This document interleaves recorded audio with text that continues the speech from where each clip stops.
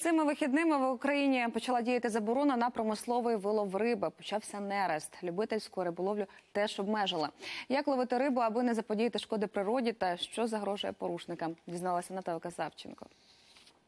Хотелось пиво посёбать с раками. 62 раки у сезон неросту обійдуться любителю пінного у понад 1800 гривень штрафу, плюс повна конфіскація.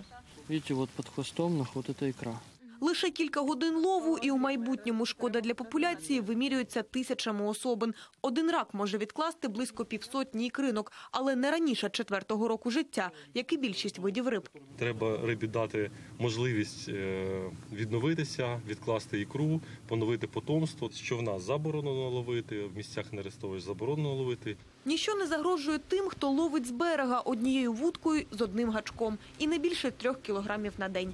Сколько штраф 170 гривен. именно за спиннинг, да? Ну, А вы что-то словили? вообще ничего. Ни одной рыбы. Патрульні кажуть, попри численні заборони, браконьєрських сіток не поменшало. Їх щодня дістають з нерестилищ. На тих, хто на човні плаває поряд, складають адмінпротокол. А браконьєри чи ні, вирішуватиме суд.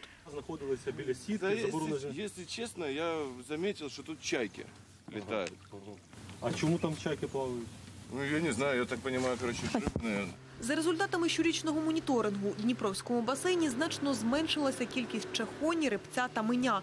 Дослідники пояснюють, справа не лише у вилові, але й у зміні рельєфу дна, спричиненому людиною. Идут постоянные процессы, которые способствуют заилению э, основных э, артерий, э, нерестовых участков. Это существенно ухудшает условия естественного нереста многих э, видов рыб. Для нормальной жизнедеятельности, которых э, необходима проточная э, вода, вода насыщенная кислородом, Наразі у Дніпровському басейні водяться понад 50 видів риби. Кілька з них, наприклад, стерлядь, майже зникли. Обмеження лову діятиме до 9 червня. За цей час, сподіваються дослідники, популяції риби відновляться, аби у майбутньому не довелося дописувати нові назви до червоної книги.